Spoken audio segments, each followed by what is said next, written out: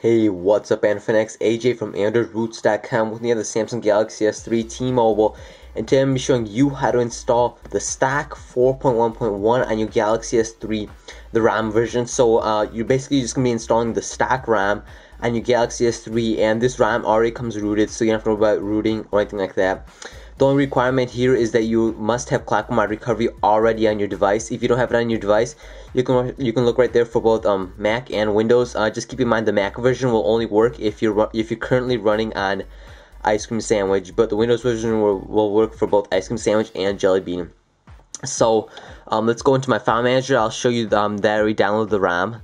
And as always, I have a link in the description below for the zip file. So just download that zip file. Do not extract it um, just keep it. So as you can see right there, I have the deodex um, T99UV DLJA.zip.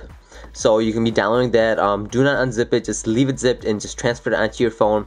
Or you can download directly onto your phone if you'd like as well. It really doesn't matter. It's a lot easier just to download directly to your phone. Um, but don't unzip it. Just download it, transfer it. So once you have it downloaded onto your phone, we're going to enter into Clock Mod Recovery mode, just like you would install any other custom ROM. So we're going to power off.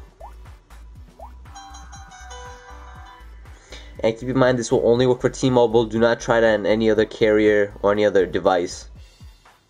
So wait until it turns off and then now we're going to enter clock mod recovery mode. So we're going to press the volume up, home center button, and power button all at the same time. When you feel a vibration, let go the power, but keep rolling the volume up and home center button. All three. Vibration, let go power.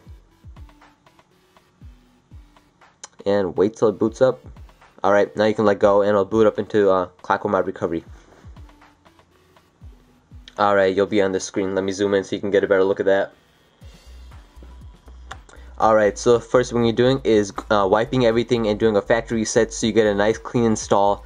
Uh, maybe because you want another custom ROM or something like that. So this will delete all your apps, all your uh, not music or photos, just your apps, uh, contacts, all that. So make sure you back it up uh, before you do this process.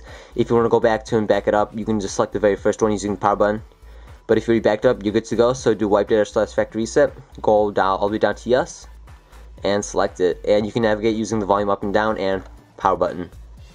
Okay, that's complete. Now we're going to go to wipe cache partition and select yes to install or clear. Okay, now we're going to go to advanced uh, wipe Dalvik cache, the second one, and select yes. Done. Go back. Installs it from SD card. And now mine was on my external SD card. If yours was on your internal, then go to the choose the very first one. Choose it from SD card, but mine's on my external, so I'm gonna choose that one. Choose zip from S external SD card. So I'm gonna choose that one and I'm gonna find it. So as you can see, mine's right there, deodexed. Right there, select it and select yes to install and there's no GApps needed, nothing like that. I'm um, just this, and once this is done installing, reboot, and then we'll be done. So give this a few seconds to finish. Okay, so the installation took about two minutes, but now we're just gonna go to go back and reboot this from now the first one. And now it's to reboot your phone onto the stock 4.1.1 Jelly Bean for your Galaxy S3. Uh, just keep in mind this will not be safe uh, method to send back to manufacturer. All you're doing is installing the stock ROM 4.1.1 on your Galaxy S3 T-Mobile. Just keep that in mind. Um, I would actually recommend this if you already have Clock Mod Recovery installed on your device. Much easier to do, and it's already rooted, so a lot easier, less uh, work to do, and less hassle and less problems in the end. So I'd recommend you do this if you have Clock Mod Recovery. Um, and if you don't, you should get Clock Mod Recovery. Very good. So I'll wait till this boots up. It should take about 2 minutes to boot up, 2 to 5 minutes, and I'll be back. Okay, so now I'm on the setup screen. Let me just skip through all this. We'll head down to settings and show you we're on the official stack 4.1.1 and we're already rooted. So a lot easier method, very, very simple to use and a lot easier um, than the just unrooting and installing the stack one. This is still stock to let you know. There's no modifications. Very stock. You still get all the T-Mobile bloatware, I believe. Yes, you do. You still get the T-Mobile bloatware.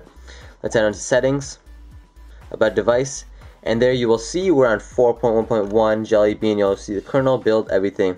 And when you do uh, keep pressing on this, you will obviously get the little Jelly Bean, hold it down, and you can play with little Jelly Beans as well.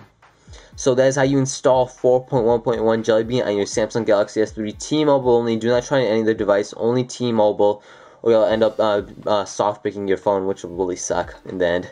So um, try it out. Very, very easy to do. Just install ClockworkMod Recovery, install this ROM, and you're good to go. Very easy to do, and I recommend this because you already come pre-rooted with this ROM. Um, that's about it, guys. Thanks for watching. If you found this video helpful, don't forget to subscribe to me and give me a big old thumbs up as well. Thanks, guys. And uh, also good ways um, to contact me and follow me and all that is to Twitter, Facebook, and Google+. All links will be in the description below. Yeah.